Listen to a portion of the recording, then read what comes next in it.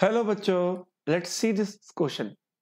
Identify the semiconductor diode uh, whose VI characteristic are shown. Key concept in this question is you should know the reverse bias characteristics. And second, you should know uh, about photodiode.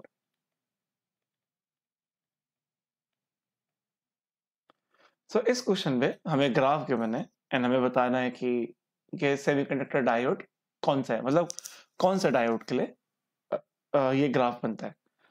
So so, हम यहाँ से देख सकते हैं कि जो हमारी current है वो इंडिपेंडेंट है हमारे रिवर्स वोल्ट वोल्टेज के।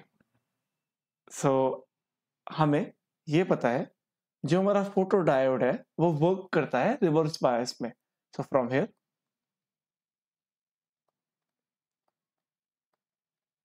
we can clearly see uh, the semiconductor diode is photo diode ये फ़ोटो डायोड के करेक्टरिस्टिक है फ़ोटो डायोड रिवर्स बायस के कंडीशन पे ही वर्क करता है। So hope you all understood best of luck